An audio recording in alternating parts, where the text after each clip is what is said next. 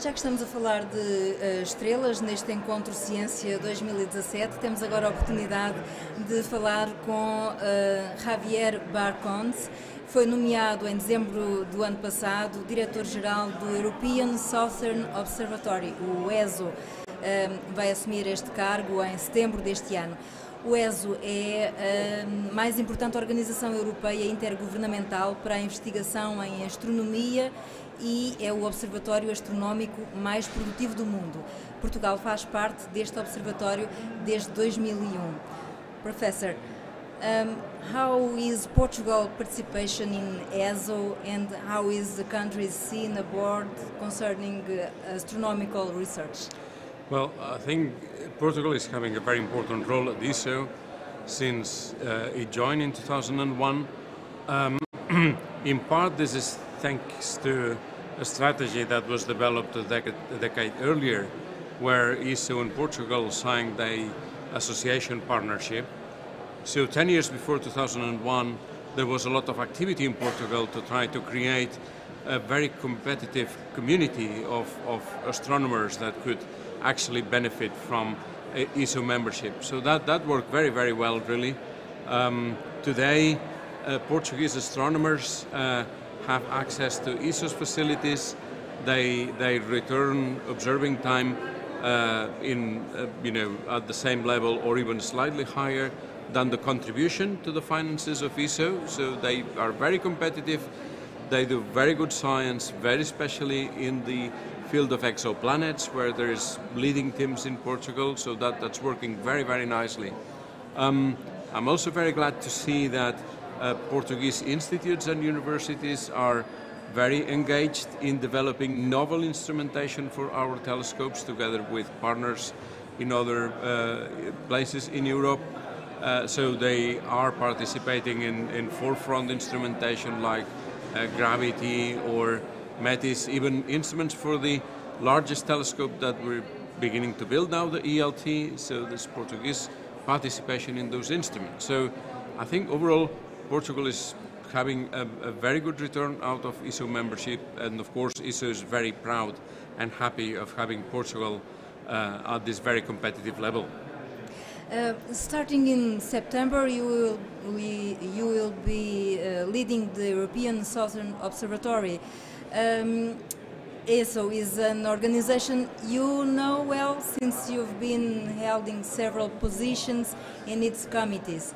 What are your main goals and expectation for the cooperation in astronomical research? Well, uh, we have a very important challenge now on the table. We have committed to build the largest optical telescope in the world, which is called the ELT, the European Extremely Large Telescope. Uh, we have started to do that. We uh, built the road to the mountain where the telescope will be erected. That's finished. Uh, we have placed the main contracts for the most important components of the telescope, including the largest one, which is to build the dome where the telescope will be put inside, and the structure of the telescope, also the optics, the mirrors, all these contracts have been placed with industry. So industry is working towards this, this project. Uh, we expect to have first light of this telescope in 2024. Now, we have to do all this and at the same time, we need to continue delivering the highest astronomical quality data to the European researchers of our member states. We have what is today the most powerful optical observatory in the world in Paranal in Chile, and we're also operating together with other international partners the ALMA submillimeter array in, in Chajnantor. That's the main uh, output, the main scientific output that we're generating today, we need to keep that working. We need to keep our current telescopes with the best possible instrumentation operating very efficiently and very productively for our astronomers and at the same time we need to build the very large, the, the extremely large telescope. So it's quite of a challenge, quite a bit of a challenge, but I, I'm sure that with the staff that we have and with the support from the governments of our member states, we're going to succeed.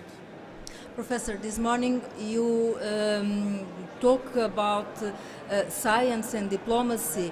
Um, how this work in ESO um, can be uh, see like uh, part of diplomacy.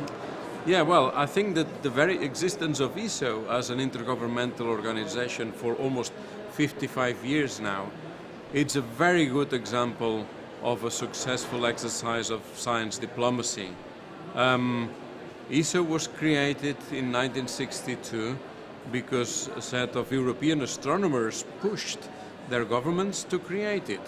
And, and the governments accepted that if they wanted to go large, if they wanted to beat real scientific challenges, they had to get together. So uh, when ESO started, it was only five European member states in 1962, and since then we have become 15. So there has been a huge amount of diplomacy into bringing all this effort together for the common cause of building and operating the largest telescopes in the world. Uh, so we do science diplomacy every day at ESO and in the other uh, European organizations like, like ours, like CERN, ESA, and all the others. And, and that is really important because it allows us to do long-term planning. Having the governments committed into our organization, it helps a lot. We can't say what we're going to do in 10 years from now. That's invaluable. And that's where diplomacy comes into play. Thank you very much for your presence. Thank you.